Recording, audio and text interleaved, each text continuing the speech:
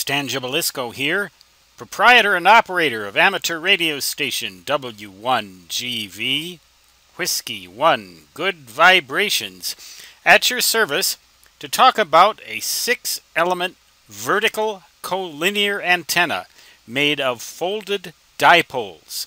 Now, here is an example of a vertical folded dipole antenna, a half a wavelength from end to end or from top to bottom, folded and made out of some kind of rigid metal tubing because it is a VHF or UHF antenna.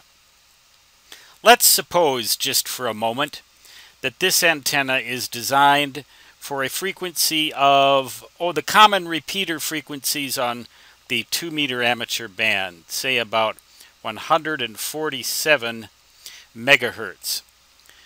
When you have an antenna like this that is uh, made out of copper tubing or something like that, bent into a configuration to make a folded dipole out of it, you will get a 300 ohm purely resistive impedance at the feed point. Well, that's not a very good match for 50 ohm coaxial cable, but hang on and I'll show you how you can make a good match out of six of these things connected in parallel. Well, I guess you can already guess pretty much how that might work, and you've probably seen some of these antennas installed in repeaters because they're excellent for that application.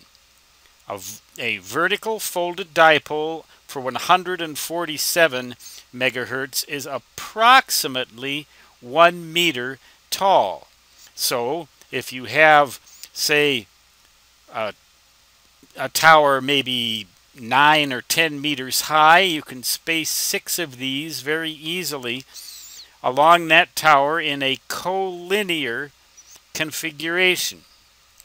Something like, well, I'm going to draw it for you as best I can on this screen, but you've doubtless seen antennas like this uh, employed by not only amateur radio repeaters, but repeaters in all kinds of applications. Here is your tower, and you'll find six of these things mounted just about like that.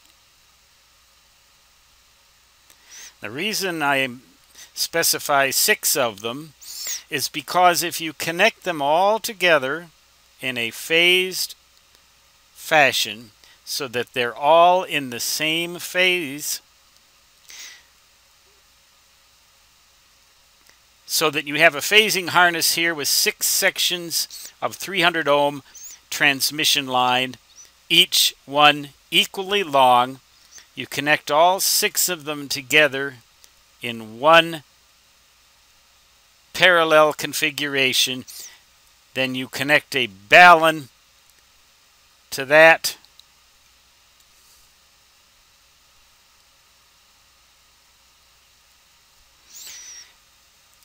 and it would it would be a one-to-one balun because you're going to get 300 ohms for each of these.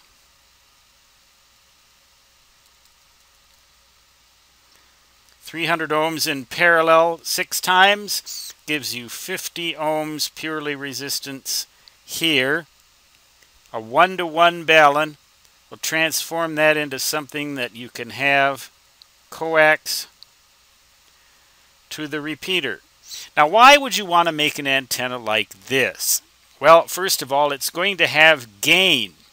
It's going to have significant gain. I'm not sure exactly how much, but if you have two of them, it's going to, to give you 3 dB of power gain.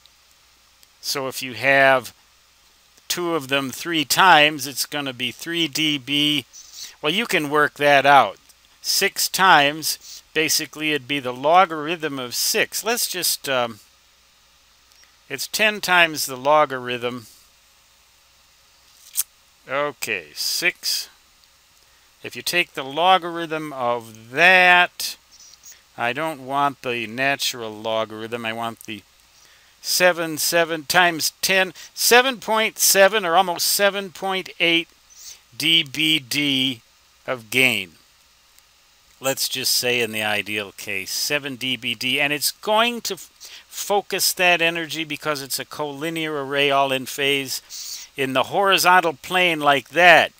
So if you drew an E-plane radiation pattern, you'd get very sharp horizontal lobes with 7.8 dBd of gain.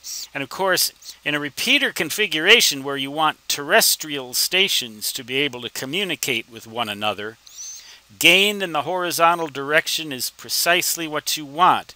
In the H-plane or horizontal plane directional pattern, you're going to get an omnidirectional uh, result so that it's going to radiate equally well in all horizontal directions and it's going to focus this energy to the tune of 7.8 dBd in that plane. This is theoretically the ideal case, of course. So that is a six-element collinear antenna designed for repeaters and uh, it's a pretty common configuration as you'll find out if you do much repeater work. Stan Gibilisco, W1GV, Whiskey 1 Good Vibrations, saying 73, and so long for now.